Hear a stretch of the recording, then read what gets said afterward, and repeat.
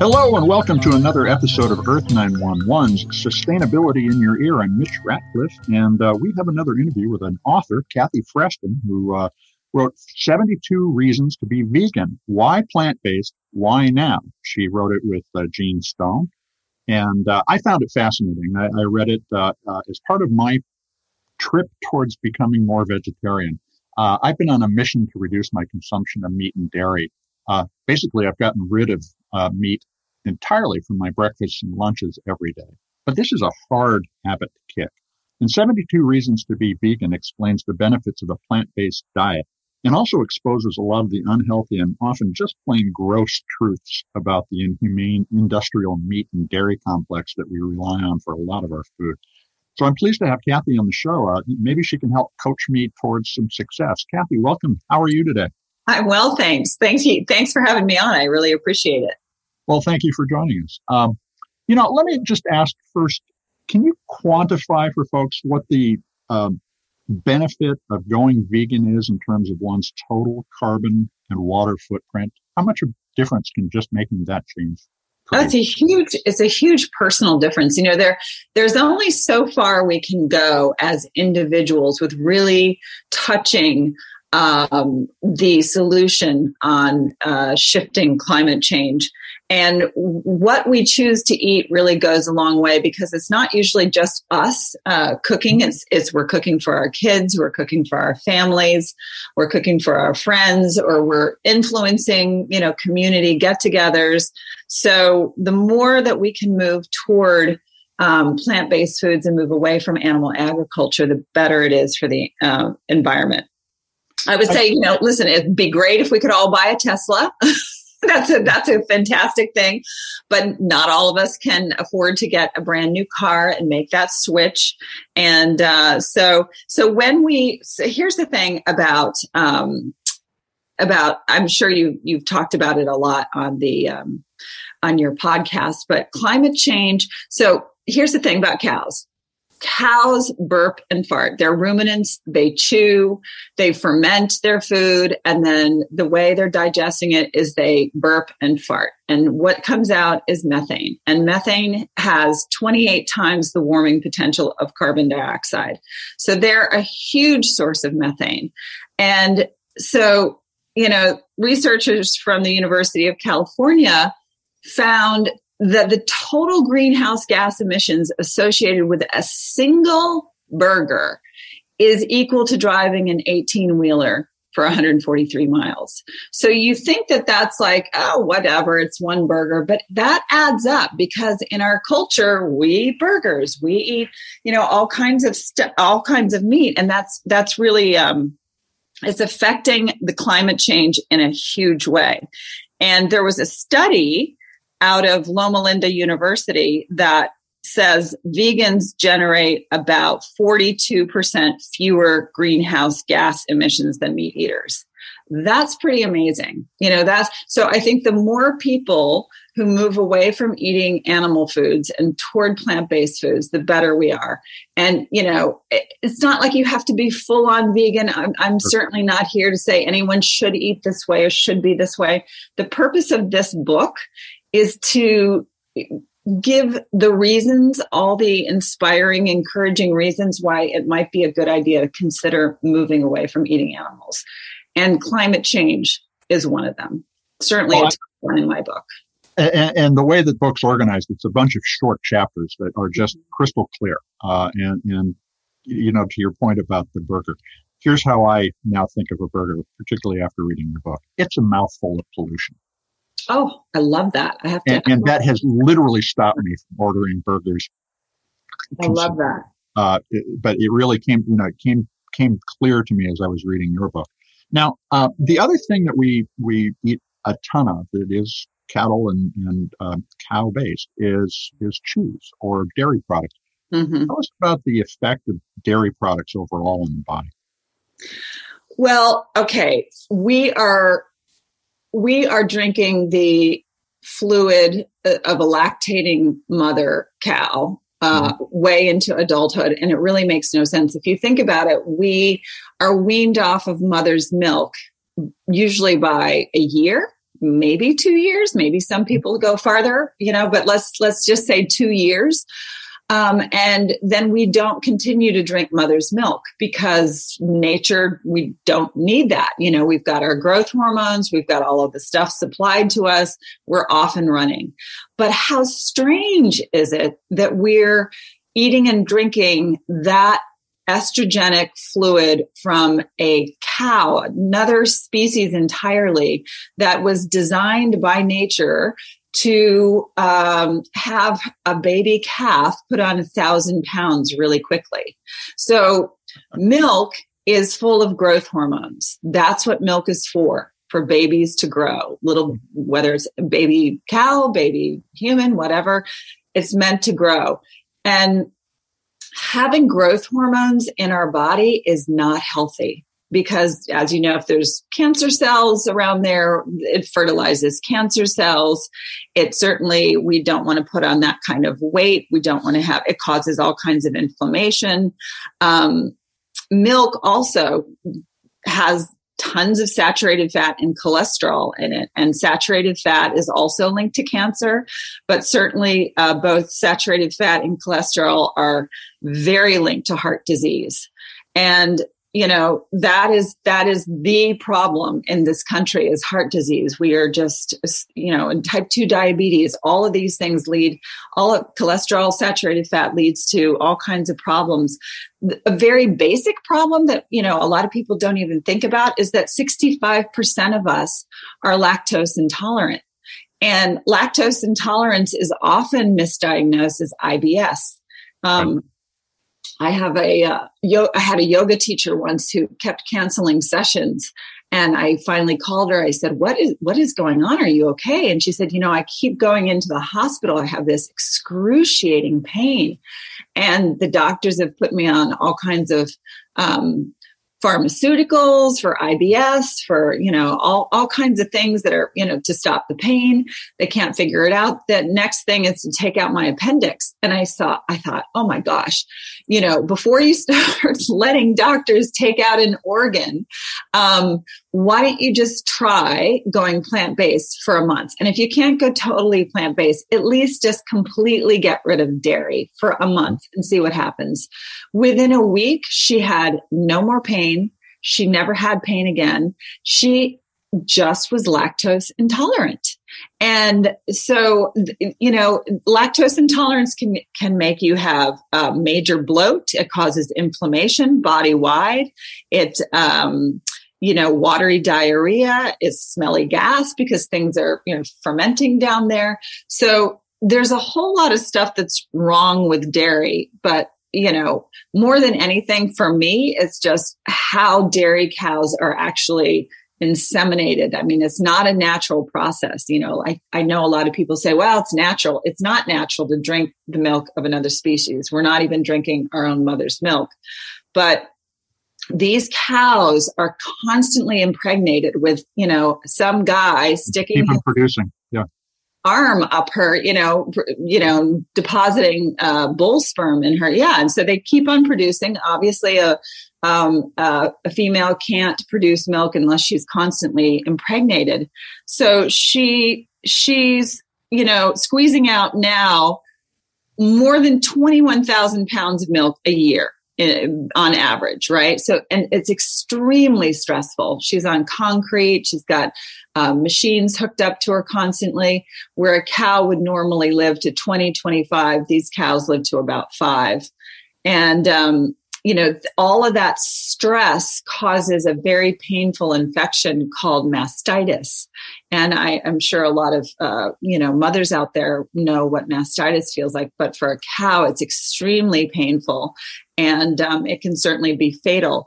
But because of this infection, uh, her body is, is, is generating um, all this pus and the hmm. pus is coming out with the milk. Yeah. So, yeah. Yeah. So we're drinking all these inflammatory cells um, of pus mixed in with milk, which is, you know, why it's pasteurized and, and all of that. Otherwise, it would be deadly. So there's a lot of stuff that's wrong with dairy. And it, in these days, it's like there's why even drink dairy? Why even eat cheese? There's so many great alternatives with uh, oat milk and rice milk and, you know, almond cheese and cashew cream and all of that stuff. So there's so many great options to uh, switch out instead of eating dairy. Well, so uh, uh, once again, now I'm thinking of glasses uh, as milk as a glass full of, of a lot of terrible stuff. Yeah, I lo- love the way you say that. A bite, a mouthful of pollution and a glass full of misery. there you go. Absolutely, that's the right way to describe it. Now, let's let's talk about fish. Uh, mm-hmm. You point out that almost all fish is contaminated with mercury, plastic, pharmaceuticals. Here in the Puget Sound area where I live, they have tested fish and they have more antidepressants in them than a human. Mm. Uh, and of course, in raw fish, you have tapeworms. And as a, a sushi fanatic, I, I, I, just die thinking about that. Yeah. Now, is a pescatarian diet a bad idea?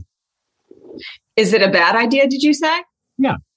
Well, it, it's it's certainly not a great idea, knowing that that pretty much, uh, you know, pretty much all fish are contaminated now. The ocean is so contaminated. It's not that, you know, you, you think, okay, go out into deep water, get fish, but it, because there, it, acid rain comes moves out over the ocean drops down you know plankton eat these things and the smaller fish eat the the contaminated plankton and then uh, you know uh, up through the bigger and bigger fish so you're you are eating a lot of um, mercury and PCBs and all kinds of um, you know, contamination, but you're also getting cholesterol and fat.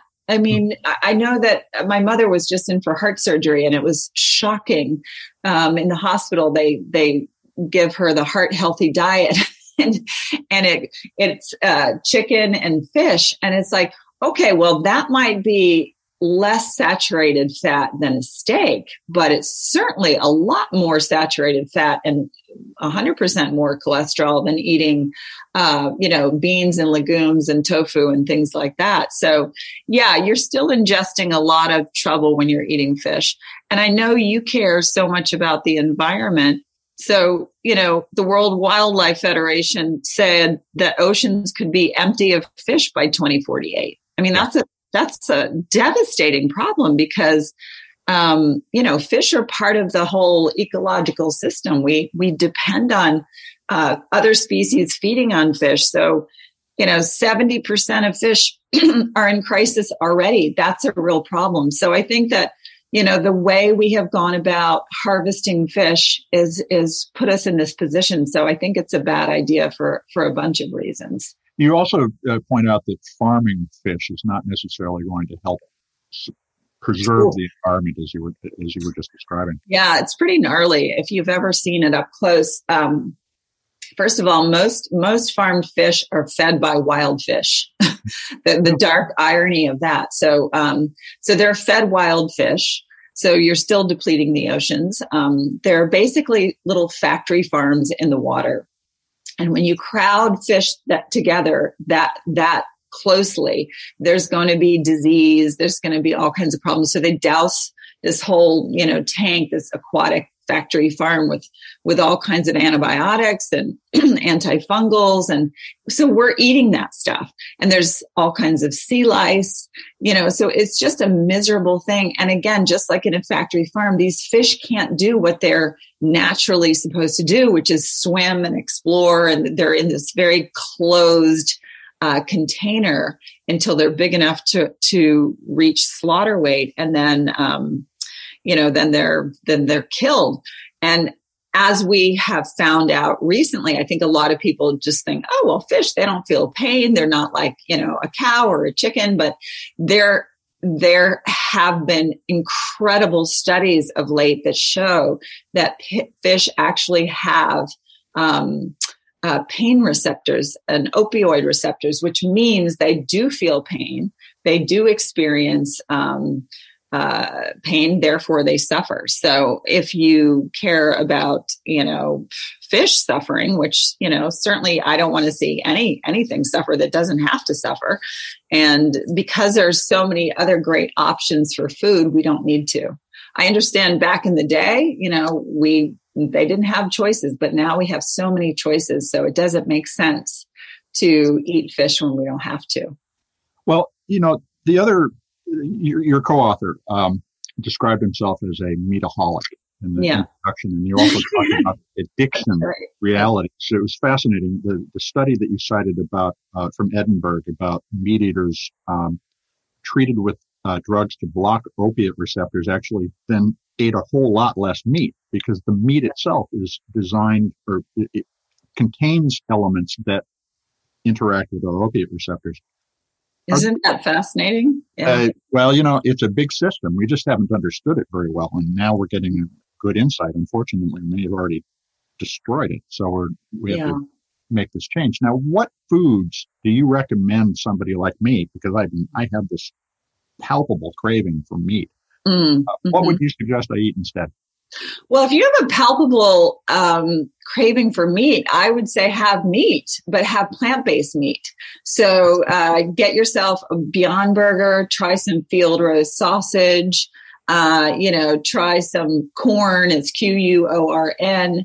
Yep. Um, there's all kinds of um, great meat alternatives out there. I'm not saying live on this stuff, but they're sure. great transitional foods, you know. And is the heme that they're using in, uh, I believe it's beyond is, or maybe it's impossible. But it's, it's impossible. It's mm-hmm. impossible. It's using heme, which is a, is a, a synthesized form of something in our blood or in blood already. Is that a, is that something that would offset the, the craving? Uh, probably. It certainly makes, yeah, it makes the impossible meat taste like real meat because it's got a blood taste to it. That's what you're tasting is that irony. Uh, heme is an iron. So plant foods have non-heme iron and um, animal foods have heme iron. So heme iron comes busting into your system whether you need it or not. So you, you get a lot of iron from, from meat. The problem with that is your body's not able to regulate it. So if you have too much iron, it oxidizes, causes free radicals in the body. And you know, that causes all kinds of inflammation and disease.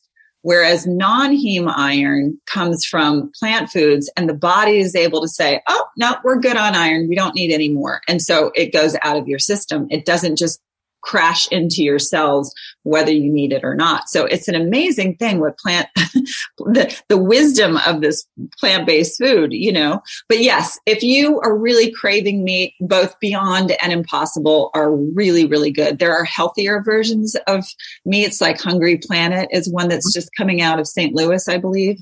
And uh, it is just, you know, it doesn't have all the fat and the, the saturated fat that that uh, Impossible has that makes it taste so juicy. But these things are great transitional foods. You know, I, I know there's a lot of purists out there that say, oh, I'm only going to eat whole food, plant based stuff straight from the ground, you know, whole grains, beans, lettuces, vegetables. But a lot of people wouldn't be able to do that. I certainly uh, couldn't have done it, you know, my, when I transitioned. Mm-hmm. Um, and I wouldn't want to. I really like having a burger when I'm out with friends. I really like having some sausage and a scrambled, you know, a, a, they're this thing called just eggs. They, they look like eggs. You scramble them, but made from mung beans. So there's all kinds of things that you can really enjoy that taste like meat. Well, and, and we agree. I mean, I think that the, the, the striving for perfection in this is, is actually the best way to fail. Uh, because you, you reinforce the fact that you didn't succeed in veganism every day. Yes, exactly. Exactly. So it sounds like that's the barrier to some successful transitioning. So being, and you described this nicely, veganish really is the right way to, to think about making this, this change. I think veganish it gives you some room to grow, find your way. Everybody's different. Everybody has their own journey, and then you you, just do be as vegan as you can be, and veganish is just fine. Now, one of the there's there's two issues that I want to ask you about. One is is as a vegan, should you be thinking about dietary supplements, or can you get everything through the foods you eat?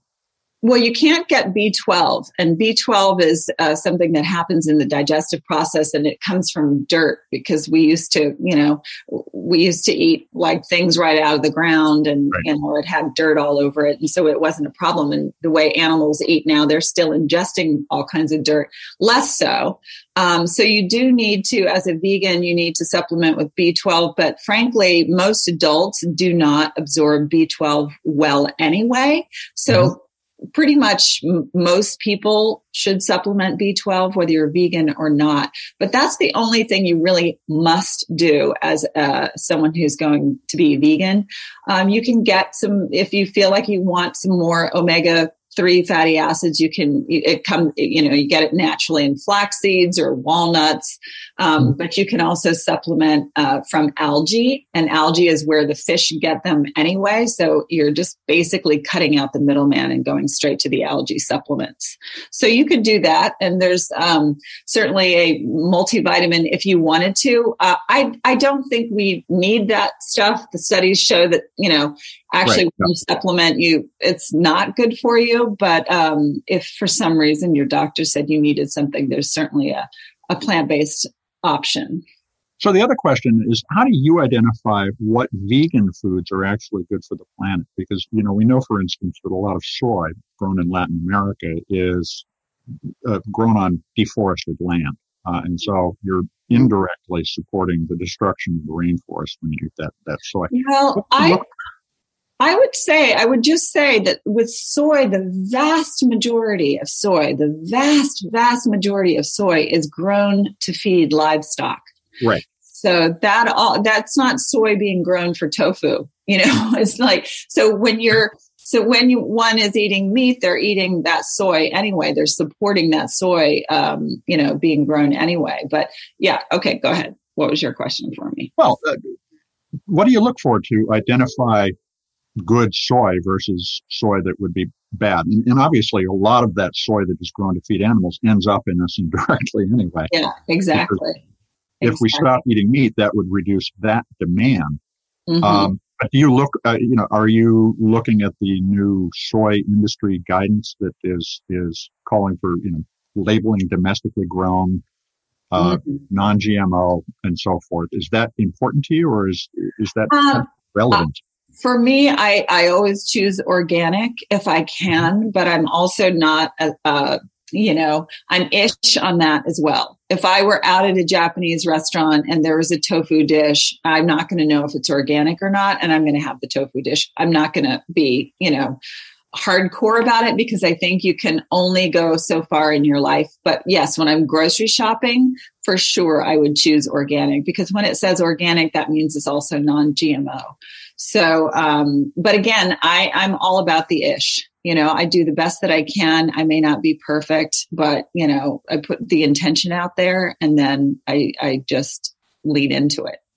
Well, uh, Kathy, I want to thank you for taking the time to talk us through this because it's it's uh, it's such an important topic, and, and you've helped me clarify a couple of things in our conversation. Oh, thank you, and you gave me some great talking points. Pollution and, and with every bite, I love that. We're glad we can reciprocate. yes, thank you. well, folks, that was uh, Kathy Freston. She's the co-author of 70, 72 Reasons to Be Vegan, Why Plant-Based, Why Now. We'll have a link to the book in the article that goes with this podcast, but we urge you to check it out. It's a great read. Uh, you'll probably go back to it a number of times as I already have. This is Earth 911 Sustainability in Your Ear. I'm Mitch Ratcliffe, your host, and we'll be back with another interview soon. In the meantime, let's take care of one another Let's take care of ourselves, and all of us take care of the planet. Have a great green day.